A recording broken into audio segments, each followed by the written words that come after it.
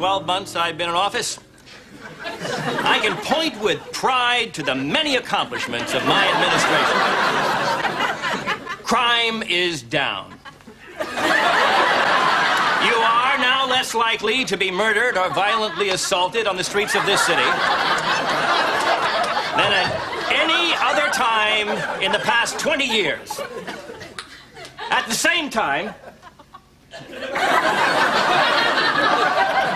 we are experiencing a cultural renaissance. Once again, New York is a mecca for filmmakers, musicians, writers, and television producers. And uh, this, uh, this both contributes to our tax base and attracts thousands of visitors to our city each year.